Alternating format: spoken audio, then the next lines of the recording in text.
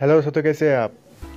पाकिस्तान और न्यूजीलैंड के बीच खेले गए वनडे मैच में मूवमेंट देखने को मिला। ये मूवमेंट अंपायर अलीम डार का देखने को मिला। अंपायर अलीम डार अंपायरी कर रहे थे।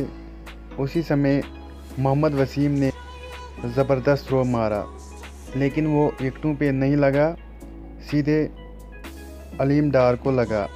अलीम डार को बहुत ही ज़्यादा लगी। ये बहुत ही तेज़ थ्रो था। उसके बाद अंपायर ने हारिस रऊफ़ की स्वेटर ज़मीन पर फेंक दी। मतलब अलीम डार को बहुत ही ज़्यादा दर्द था। यही वजह रही कि अलीम डार ने हारिस रऊफ़ की स्वेटर ज़मीन पर फेंक दी। ये मुकाबले का सबसे ख़तरनाक मोमेंट देखने को मिला। इसमें अलीम डार को चोट लग गई। लेकिन इस मुकाबले में न्यूजीलैंड ने बहुत ही ज़बरदस्त क्रिकेट दिखाया।